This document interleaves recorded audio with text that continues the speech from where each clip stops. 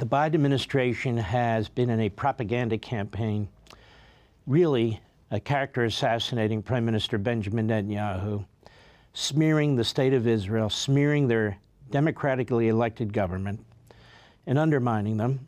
Uh, it has attacked their judicial reforms over there that we've talked about in the past. Uh, their Supreme Court in Israel is nothing like exists in anywhere on the free world. Why? Because it's a Politburo. Because you have basically 15 lawyers in black robes who have uh, a say, if they want, and the final say in everything and anything that goes on in society. That's not the government that was set up when Israel was founded. It's not a Democratic or Republican government.